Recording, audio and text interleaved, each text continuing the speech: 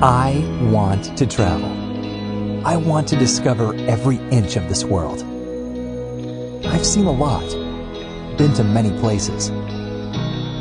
Traveling makes me feel alive. My feet get restless when I'm not on the move.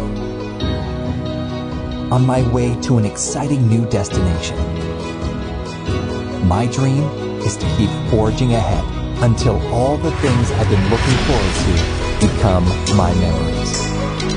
It's time to pack up and go.